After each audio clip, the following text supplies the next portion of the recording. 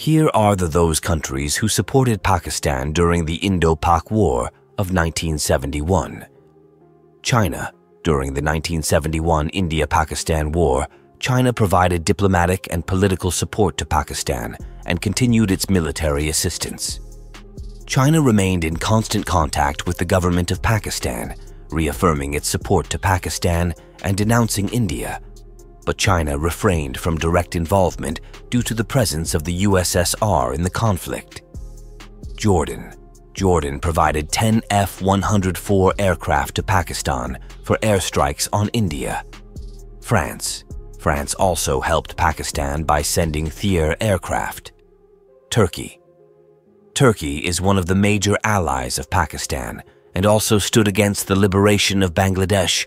Turkey was one of the last countries to recognize Bangladesh. USA. The United States deployed its 7th Fleet of the Navy to save Pakistan from defeat in the Bay of Bengal.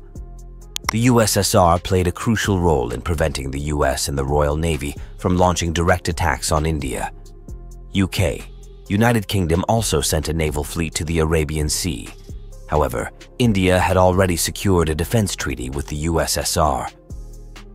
Saudi Arabia also support and stand with Pakistan during the war. UAE UAE is supporting Pakistan by sending its aircraft. Later support the liberation of East Pakistan.